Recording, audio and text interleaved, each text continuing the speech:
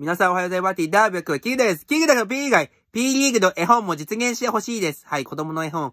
ボーイ学部や P リーグ、ぜひボーリングの良さをみんなでお子供たちにも知りたいということで、絵本どうでしょうか？皆さんコメントお願いします。賛成か反対かもぜひコメント、高評価お願いします。はい。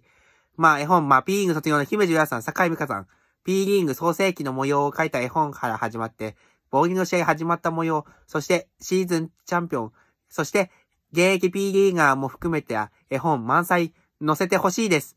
私、その P リーグの絵本ぜひ楽しみにしておりますし、ぜひ作ってほしいです。まあ、夢として、はい。夢が叶ったら本当に嬉しいことでございます。はい。あとはピーリングプラスの起こったことと、あとピーリングプラスのあの P6 の物語も追加でお願いしたいです。はい。P リーグの絵本、まあ、第何弾とかいうやつ、まあ、団子と分けてほしいです。はい。こきっと子供たちも、ボーインかける P リーグの良さがわかるでしょう。はい。というわけで以上でございます。バイバイ。